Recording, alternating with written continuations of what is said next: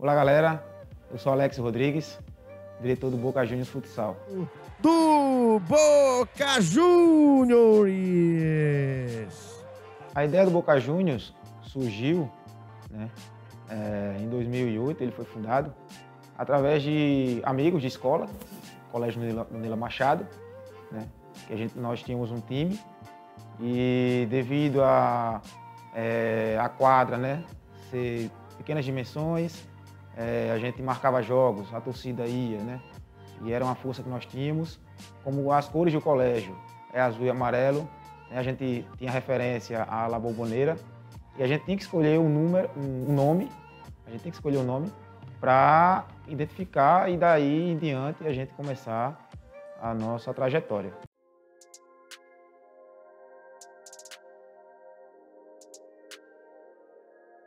Em 2019, né, nós montamos um grande elenco, né? É, junto com a nossa diretoria aí, eu, Pablo, Paulo, Diogo, né? a gente estava com uma expectativa muito grande de subir, né? que a gente já vinha brigando em outros anos.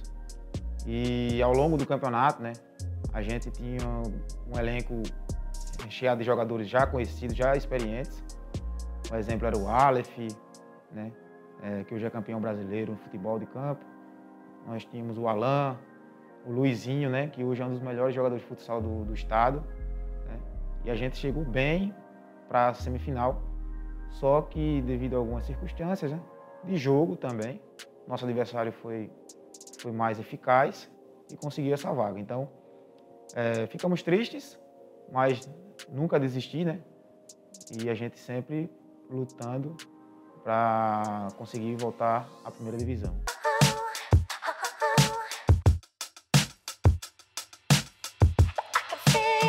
Vai chegando o toque do Mi em direção ao ataque. Subiu, vitória dele.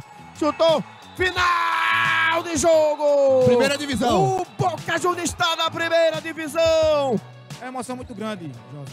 Porque a gente foi tudo em cima da hora, o campeonato em cima da hora, o elenco em cima da hora. Mas o Boca tem tradição, cara. O Boca tem uma estrela no peito. Isso aqui quer dizer muito. Certo? A gente já conseguiu acesso e já conseguiu o título da segunda divisão e a gente vai para a primeira para ficar. É, em 2021, né, foi um ano de glória para a gente em, em relação a, ao acesso, que era o primeiro objetivo. Né? A preparação foi muito boa também. Né? É, nós, diretores e comissão técnica ao mesmo tempo, né? É, formulamos o, o elenco e, graças a Deus, no final das contas, conseguimos o acesso à primeira divisão, a volta, né? Fomos para o segundo objetivo, que era o título, né, o bicampeonato, que a gente tentou o bicampeonato.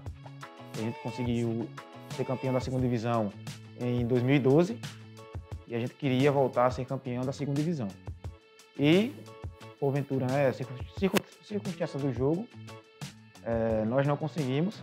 Boca Júnior correu, apontou! Acabou! Ladeirense é campeão miguelense da segunda divisão! Para a decisão de pênaltis, né? mas o nosso adversário, o Ladeirense, foi melhor, foi mais eficaz e conseguiu a, a, o título.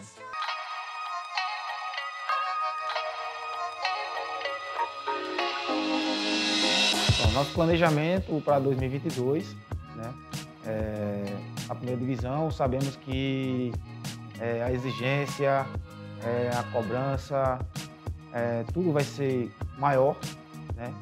Nós agora estamos com a equipe né, da diretoria e comissão técnica maior, já para atender as nossas necessidades, para a gente se dividir e a gente está reformulando o elenco, né, contratando novos jogadores, é, trazendo jogadores que já fizeram história no Boca também, né, que fazem fizeram história e estão bem, estão bem condicionados, estão jogando também atualmente.